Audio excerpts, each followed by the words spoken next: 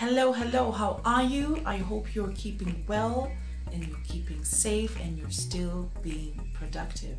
Now, I know it's important to exercise your body, it's important to work on your business through creating or improving your systems and even reading good business books. But I also believe that it is important to rest and to do things that you enjoy. Why? Because you are just as important, if not more important, than your business. We all know that all work and no play makes Jack or Jill a very dull person. So we have to find ways of creating time to do things that we enjoy, things that make us happy, things that make us feel good, and things that keep us well rested. Why? Because only when we're well rested and happy will we be even more productive. So, what do I mean? I mean, take a walk if you enjoy taking walks, listen to music, you know, bask under the sun and just do absolutely nothing.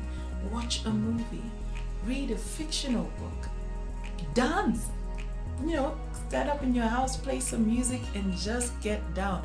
Whatever it is, if it's playing with your kids, spending time with your loved one, call your friends, have a laugh, you know, take a Zoom hangout and just enjoy yourselves.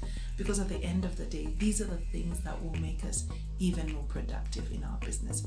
As for me, I am looking forward to writing a song because I do not remember the last time I wrote one because I have been too busy to sit down and just figure out what lyrics should I write. So I'm looking forward to that. I'm looking forward to painting, which I haven't done since campus.